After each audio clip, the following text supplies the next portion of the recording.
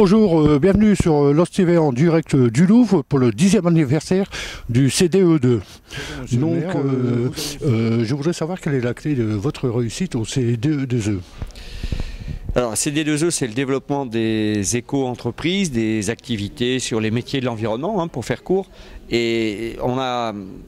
La première chose, c'est qu'il y a une énorme demande en région Nord-Pas-de-Calais pour traiter nos pollutions, euh, adapter notre économie aux contraintes d'aujourd'hui. Et donc ça, c'est un peu notre histoire qui, est, euh, qui nous donne du coup des nouveaux marchés à, conquérir sur l'eau, sur les sols, euh, sur l'énergie.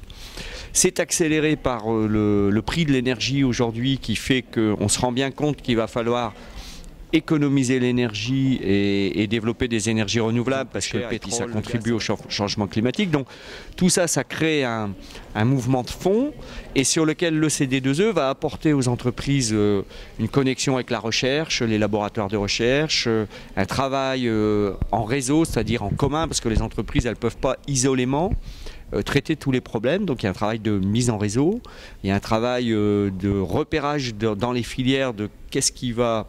euh, Est-ce que par exemple demain c'est plutôt la géothermie qui va marcher plutôt que le solaire Donc il y a une compréhension des enjeux techniques. On aide les entreprises qui veulent euh, se développer à l'international.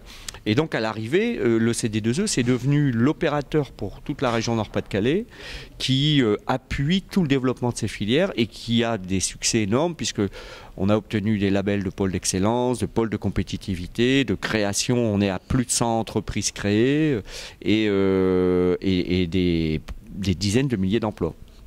Alors, euh, quelle a été la raison de s'implanter à Los Angeles?